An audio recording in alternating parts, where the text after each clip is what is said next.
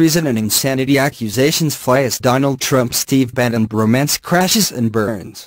After excerpts of a new book emerged quoting the president's former chief strategist accusing Mr. Trump's son and son-in-law of treason and being unpatriotic, Mr. Trump hit back.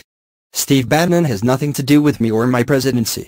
When he was fired, he not only lost his job, he lost his mind. He wrote in an official statement a departure from his usual Twitter outbursts.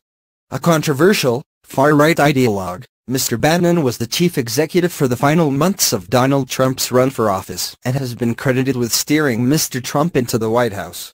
After the election, the 64-year-old took on the role of chief strategist and influential, coveted position, on par with the White House chief of staff.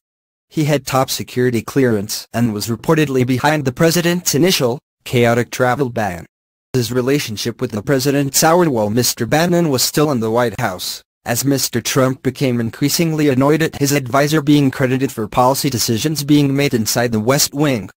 But when Mr. Bannon left the White House in August to purportedly continue the Trump agenda from the outside, the president was full of praise. Mr. Trump called him a friend, said I like Steve a lot, and thanked him for his service. White House Press Secretary Sarah Huckabee Sanders describes the book as trashy tabloid fiction and says the president was furious when he learned about it. She says it was Mr. Bannon who gave the author access to the White House, and that any staffers who spoke to him did so at the request of the former advisor. Mr. Bannon is the latest in a number of once close allies Mr. Trump has tried to distance himself from or lashed out at, painting a picture of an increasingly isolated commander-in-chief.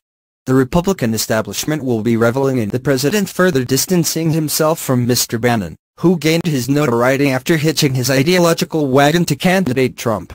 Mr. Bannon has used his newfound power and profile to try and dethrone traditional Republicans, including the likes of Senate Majority Leader Mitch McConnell, and push for a new breed of right-wing candidates.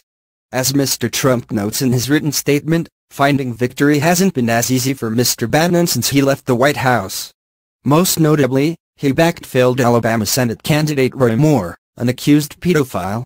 There is, however, little doubt Mr. Bannon and his publication Breitbart did a lot to energize Mr. Trump's base. The question now is whether by burning Mr. Bannon, has Mr. Trump burned his base?